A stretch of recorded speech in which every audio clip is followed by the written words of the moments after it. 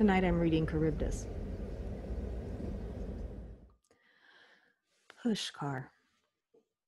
Born of lotus petals, home of camel races.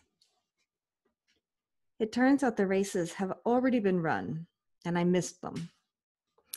Just last week, while I was getting sick in Jaipur, hundreds of people converged on this tiny town to race camels and to watch them being raced. I am disappointed I miss this eccentric des- desert tradition, but it's just as well. Because now the town is quiet, uncrowded, and the air is clean. I try to heal myself by running chi through my chakras like my friend Sanka taught me to do in Vienna, but it offers no noticeable cure. I'm not quite bedridden, but I cough almost perpetually and move a lot slower than normal. And I don't have much energy. But I am still restless, which makes my condition that much more intolerable. Pushkar is another of India's holy cities, with ghats and temples and holy men of more and less reputable pedigrees. I visit the ghats, which consist of many steps leading into a wa- body of water, often a river like the Ganga, where people either bathe for purification or are cremated when they die. In this case, the body of water is Lake Pushkar. According to Hindu legend, the lake was created when Brahma dropped petals from a lotus flower to the earth in this valley. Like the monkey temple, there are holy men who perform rituals at these ghats. They ask how much I want to offer to Brahma in exchange for their services. This is also known as bakshish, which may take the form of a tip or a bribe, depending on the kind of situation that you're in. I'm okay with that. But the priest I meet here skips the formalities of actually offering any services and simply demands bakshish from me just for standing on the steps of the ghats. My cynicism meter moves farther to the right.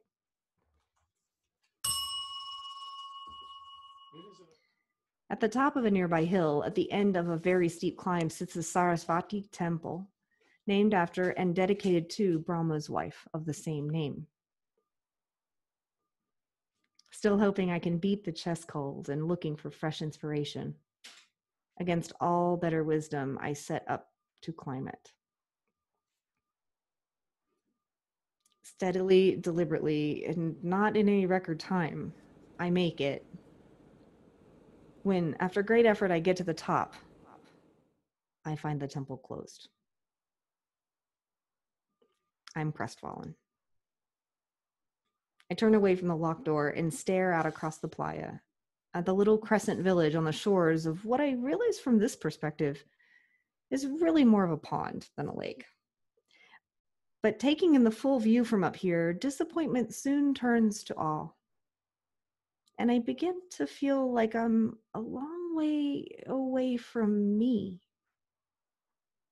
like I'm living someone else's adventure. For the first time, Pushkar feels like a holy place, a place where magic may exist after all.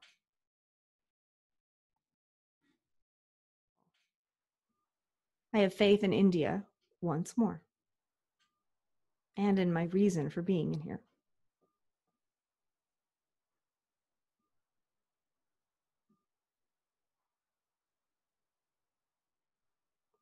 I sit down and stare out across the valley.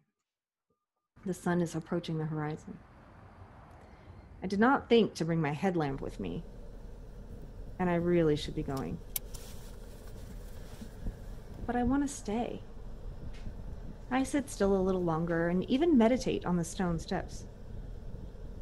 When I open my eyes, the sun is more than halfway hidden behind the small city skyline, and I have to scramble down in the fading light before I am trapped out here in the dark. I like being out here. I like that people are, for the most part, at their best. They are open and alive. Conversation is not small or dull. We seem to be able to skip the pleasantries of how's your day and get right to the meat of things. Maybe all travel opens up. Hmm. Maybe all travel opens us up like this. Or maybe it's just that you don't go to India, at least not to a tiny town in the middle of Rajasthan, unless you are a little interesting to begin with, unless your story has some pages to it.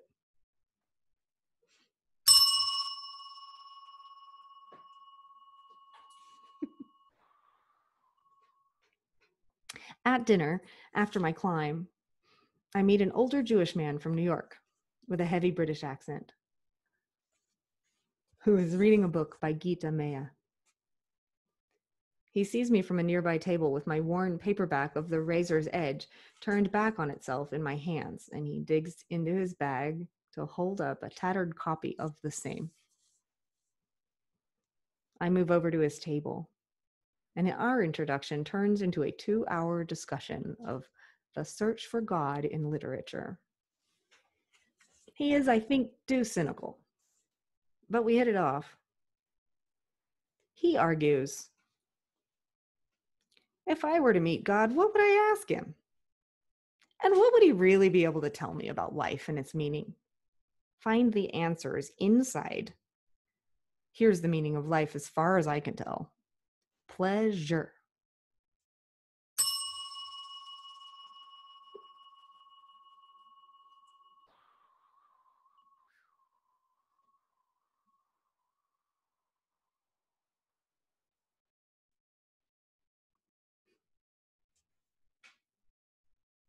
His wife of 17 years died of complications from pneumonia after a long battle with cancer. For some time afterwards, he could find no meaning whatsoever in life. He wasn't even sure why he kept on living. He had other family and friends and work, but death had blacked out most of the windows in his life, so that he could not see the light from these things nor find any comfort in their company. He spent a lot of time alone, walking through Central Park, going to movies, rereading books, staring at walls. He's only recently taken a lover, and that has brought the only measure of joy back to his life that he has known in years. When he was much younger, he and a friend spent a month riding trains in India. They had very little money, but second class fares were cheap, and they could sleep on the trains. The adventure and all of its discoveries, from exotic places and foods to new friends to conversations that lasted for whole days, was one of the best experiences of his life. He felt more alive during those weeks than he could remember before or after. He booked this trip in an effort to find some trace of that feeling again. I spent a few more days here in Pushkar in conversation with my new friend and taking long naps it happens that British Jewish New Yorker has a car and driver. And he offers me a ride to Udaipur, where I was planning to go anyway when I felt better. But I'm not getting better. So I opt for a change of scenery instead. The car is also an ambassador, like the one we rode to in Agra. But it must be a newer version because it's more comfortable and it goes a bit faster. It is a relief to be in a car with suspension on a road without 4,000 other vehicles. The pollution is almost non existent out here in the middle of the desert. That and the open landscape allow me to breathe. Death brings out different things in different people.